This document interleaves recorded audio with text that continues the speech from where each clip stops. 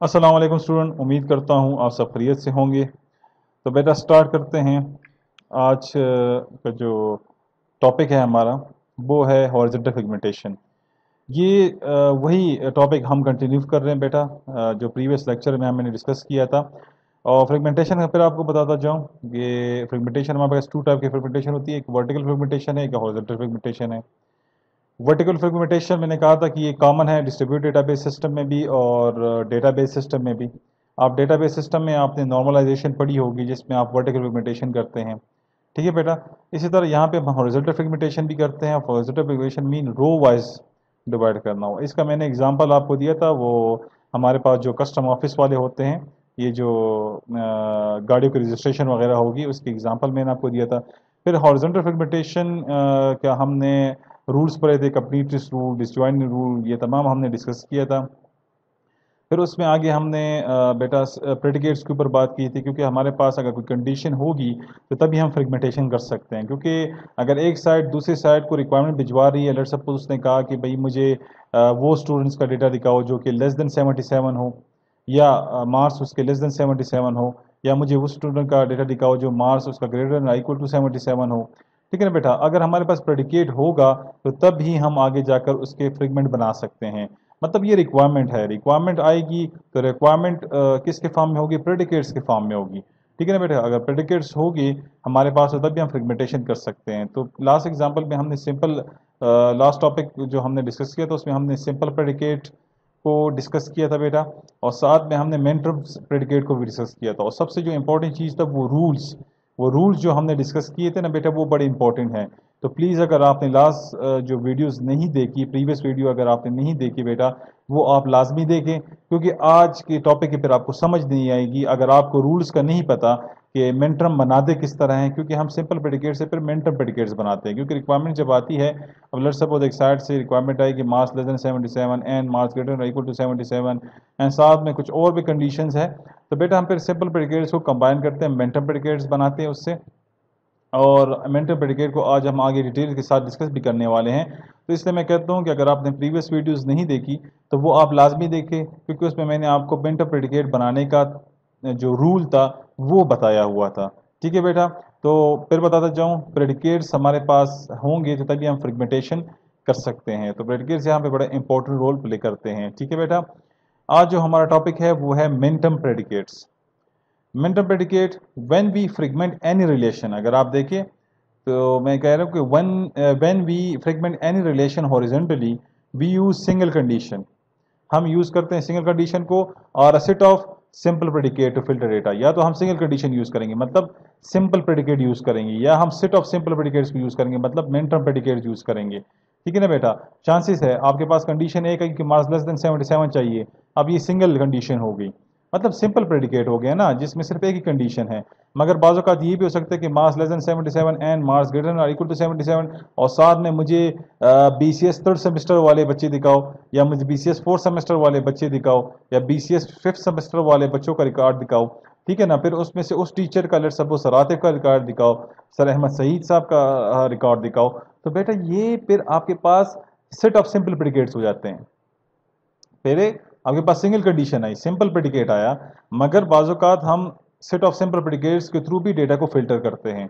ये डिपेंड करता है किसके ऊपर बेटा? रिक्वायरमेंट्स के ऊपर। जो रिक्वायरमेंट आएगी वो सिंगल आया या सेट ऑफ़ सिंपल प्रेडिकेट आया तो बेटा दोनों में के थ्रू हमने डेटा को क्या करना है? फ़िल्टर कर दें। इसलिए पिछले जो हमारा प्रीवियस लेक्चर था, उसमें मैंने आपको सिंपल प्रेडिकेट और मेंटल प्रेडिकेट्स के रूल्स करवाए थे। ठीक है ना बेटा? अब यहाँ पे देखिए given a relation R and set of simple predicate आपके पास रिलेशन आर है टेबल है, और सेट ऑफ़ आपके पास क्या है बेटा? सिंपल प्रेडिकेट है। We can fragment a relation horizontally as follows तो अब fragment R I R I आपके पास क्या है? रिलेशन है। इक्वल टू एफ़ आई आपके पास फ्रेगमेंटेशन हॉरिजेंटल फ्रेगमेंटेशन का सिंबल लगा हुआ है एंड आर आप उस टेबल की हॉरिजेंटल फ्रेगमेंटेशन बना रहे हैं। And one less than equal to I and I less than equal to N ठीक है बेटा? अब यहाँ पे अगर आप देखिए where F I set of simple predicate F I क्या है? आपके पास सेट ऑफ़ सिंपल प्रेडिकेट है, जिसके थ्रू हमने फ्रेगमेंट्स बनाने हैं। Also call as minterm predicate हम इसे मेंटम प्रेडिकेट भी कहते हैं। क्यों? क्योंकि सेट ऑफ़ सिंपल प्रेडिकेट है। सी है बेटा? सेट ऑफ़ सिंपल यहाँ पे अगर लिखा होता सिंपल प्रेडिकेट सिंपल लिखा होता सेट नहीं लिखा होता तो हम कहते हैं ये सिंपल प्रेडिकेट की बात हो रही है। मगर ये तो सेट ऑफ़ सिंपल प्रेडिकेट कह रहे हैं, क्योंकि एफ़ आई में आपके पास चांसेस है ना वन और मोर की बात हो रही है। या तो एक आएगा या एक से ज़्यादा आएगा। ठीक है ना बेटा? तो यहाँ पे क्योंकि सेट ऑफ़ सिंपल प्रिडिकेट की बात हो रही है तो उसे हम अक्सर उसे हम कहते हैं मेंटम प्रिडिकेट भी कहते हैं। क्या कहते हैं बेटा? मेंटम प्रिडिकेट भी कहते हैं which can be written as minterm predicate M I equal to P one simple predicate एक हुआ एंड P2 दूसरा सिंपल प्रिडिकेट हुआ एंड P3 तीसरा सिंपल प्रिडिकेट हुआ and so on P N तो ये आपके पास क्या है? अब ये सेट ऑफ़ सिंपल प्रिडिकेट है, जिसे हमने मेंट्रम कहा मेंट्रम प्रिडिकेट्स कहा, क्योंकि सेट ऑफ़ सिंपल प्रिडिकेट को हम मेंट्रम प्रिडिकेट्स कहते हैं। बात समझ आई बेटा? तो फिर आपको बता जाऊँ कि प्रेडिकेट्स आपके पास वी यूज़ सिंगल कंडीशन या तो हम सिंगल कंडीशन यूज़ करते हुए डेटा को फ़िल्टर करेंगे, या हम सेट ऑफ़ सिंपल प्रेडिकेट को यूज़ करते डेटा को फ़िल्टर करेंगे। मतलब डेटा के फ्रेगमेंट्स बनाएँगे।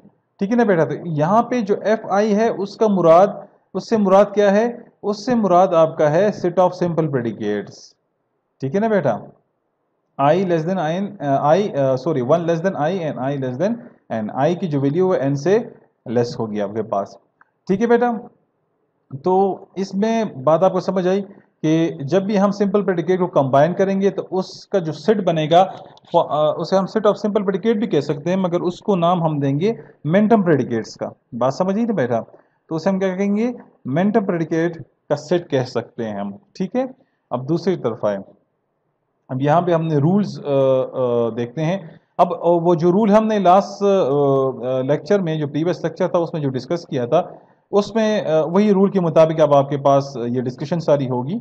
यहाँ पे अगर आप देखिए here P one mean both P one और निगेशन पी वन यहाँ पे अगर आप देखें ना तो पी वन से मुराद क्या है आपका? आ, कि पी वन अगर है तो पी वन से मुराद आपके पास पी वन भी होगा और निगेशन पी वन भी होगा। मतलब नेगेटिव निगेशन जो कंजक्टिव भी आपके जो उल्टा उसका होगा पी वन होगा। ये रूल्स मैंने आपको लास्ट जो प्रीवियस वीडियो थी उसमें आपको समझाया था कि मेंट्रम बनाते हुए हम हर सिंपल प्रेडिकेट का उसका निगेशन भी लेंगे।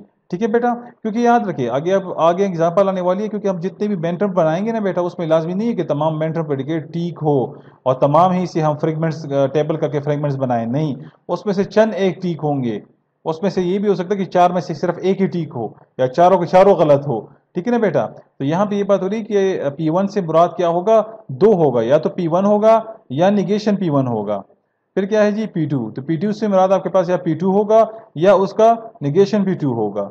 इसी तरह पी थ्री से मुराद पी थ्री होगा, और निगेशन पी थ्री होगा। तो क्या मतलब? Marks less than seventy seven marks उसका उल्टा अगर आप ले लेना मार्स नॉट इक्वल टू मतलब marks less than seventy seven नहीं है इस तरह समझे।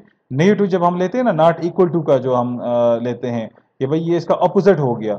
यहाँ पे हम कह रहे हैं कि marks less than seventy seven है तो वहाँ पे हम कह रहे हैं कि marks less than seventy seven नहीं है। ठीक है?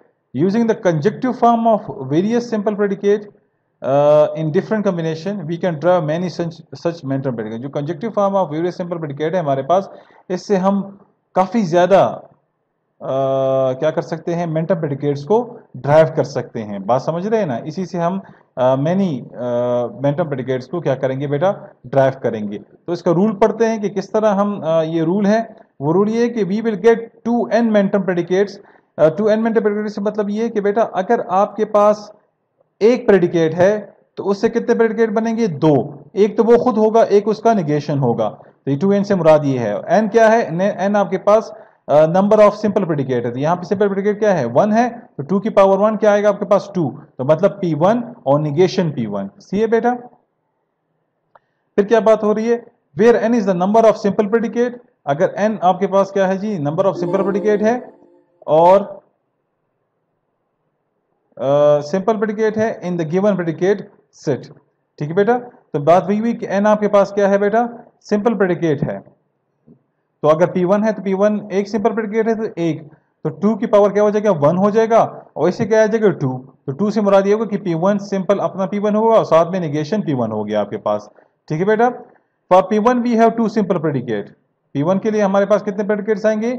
टू सिंपल प्रेडिकेट आएँगे। किधर है बेटा? ये है P1 P1 और निगेशन P1 P2 के लिए कितने आएँगे? P2 और निगेशन P2 P3 के लिए कितने आएँगे? P3 और negation P3 hence we get four किस तरह? दो की ताकत दो। अगर यहाँ पे आपके पास दो प्रेडिकेट्स होंगे लेट सपोज़ तो उसके आपके दो की ताकत दो लेंगे तो कितने सिंपल कितने मेंटल प्रेडिकेट बनेंगे? आपके पास चार मेंटल प्रेडिकेट्स बनेंगे। Possibility of minterm predicate as follow ठीक है बेटा? तो ये वो रूल था जो मैंने आपको समझा दिया कि भाई सिंपल प्रेडिकेट को आप आ, आ, लेंगे तो वो एन है। तो पी वन सिंपल प्रेडिकेट एक ही है तो टू की पावर वन तो आपके पास कितने आए? दो प्रेडिकेट्स हैं, उसे हम कहेंगे मेंटम प्रेडिकेट्स इसी तरह अगर आपके पास दो है P1 एंड P2 है, आपके पास तो उस दोनों को दो के तक दो चार तो कितने मेंटम प्रेडिकेट्स बनेंगे? चार मेंटम प्रेडिकेट्स बनेंगे। ठीक है बेटा? तो ये रूल आपको बता दिया। नेक्स्ट में हम वीडियो में हम इसके ऊपर एग्जाम्पल्स करेंगे। Thank you